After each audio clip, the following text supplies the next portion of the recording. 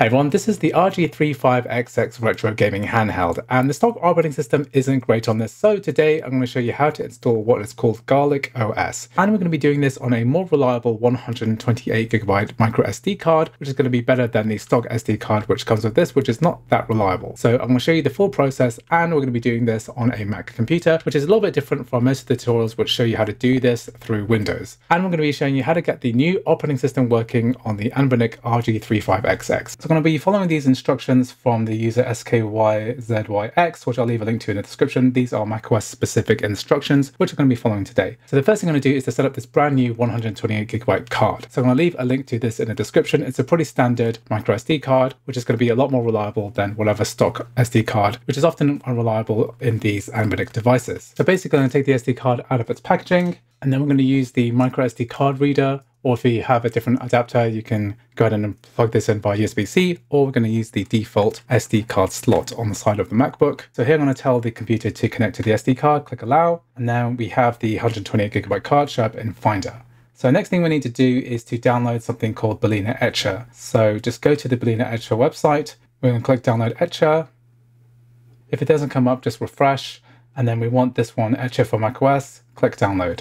So once that's done, we're going to go to our downloads folder in the Finder, double click on Balena Etcher, and then drag and drop this into applications, and then we're going to move on to the next step. So next we need an application that can open .7z archives. So go ahead and download the Unarchiver, which is available on the Mac App Store. This is completely free to download. So just download this from the Mac App Store and then we can move on to the next step. Last thing that we need to install is Homebrew. So I've got a tutorial for Homebrew in the description, but it's pretty straightforward. Just go to brew.sh, copy this tag here, go to terminal in Spotlight, paste that command, and it's going to go ahead and download and install Homebrew for you. So just follow the instructions there. Make sure to set the path at the end as well. If you have any trouble, check the link in the description for my video. So now that we've got all the prerequisites, we're to go ahead and download Garlic OS. So I'll leave a link in the description for Black Seraph's Patreon on page. And at the bottom here, what we need to do is we need to download the correct files for a fresh SD card. So if we go to the bottom, after all these massive change logs, and we'll see here micro SD card image one and two. So we don't want this one copying out of stock because we are not using the stock SD card in this instance. If you are, then you'll follow different instructions. We're going to download micro SD card one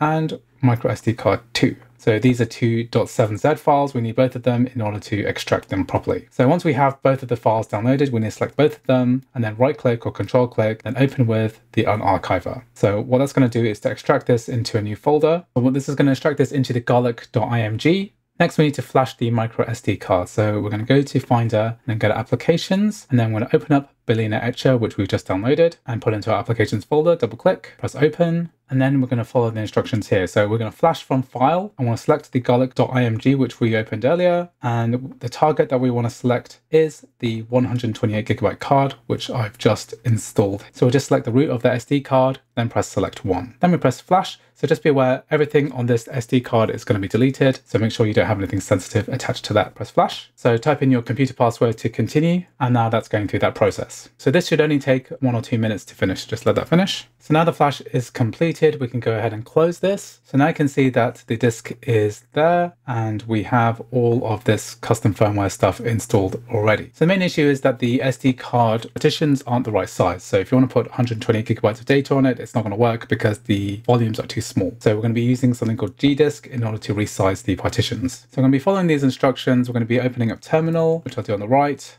I'm basically going to follow the commands brew, install, cask gdisk. So this is going to be using homebrew to install gdisk, which is going to be used to resize the partition. So once that's done, we're going to go ahead and confirm that this is working by typing in sudo gdisk, typing in a password. Don't worry if it's not showing up. That's because as a security measure, Terminal doesn't show asterisks for passwords. Just type it in, press return.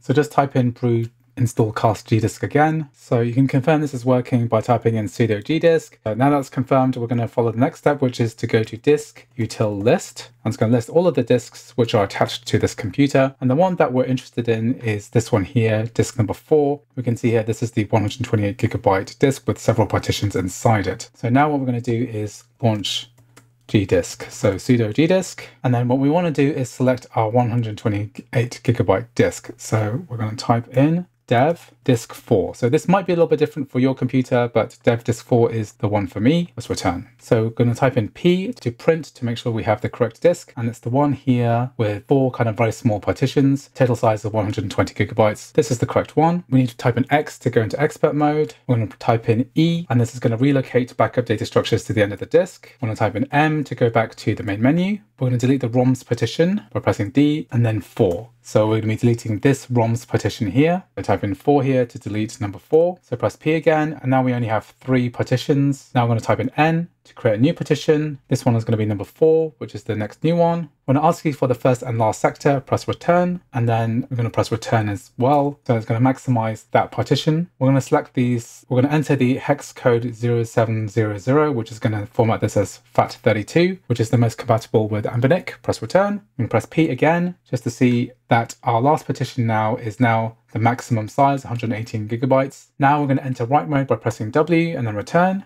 Are we sure we want to proceed? Yes, press return. And now that is done. And then we need to go to Spotlight and go to Disk Utility. We're going to look at our partition again. So we have our 128 gigabyte SD card. So basically what we need to do is to find the SD card partition with ROMs, custom firmware, and BIOS. And we want to we want to make a quick backup of this. So I'm going to copy this onto our computer somewhere because we're going to restore these later. Just make a folder, make a copy of this because basically what we're going to do is to erase this uh, partition and then add these files back. So it's only 800 megabytes. And then basically we're going to find the larger partition. So this is the data partition, the larger one. And what we want to do is to erase this. And within this utility, we're going to erase I want to call this one ROMs as it specifies in the guide. I want to format this as MS-DOS or FAT, press erase. Press done. I want to go back to that backup folder we created earlier.